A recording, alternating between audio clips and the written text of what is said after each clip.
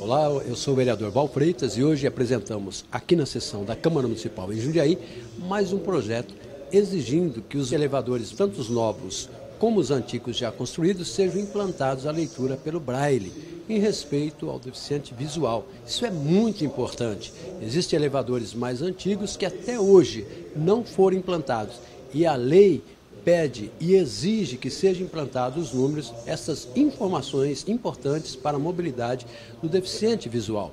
Isso é respeito ao cidadão de Jundiaí.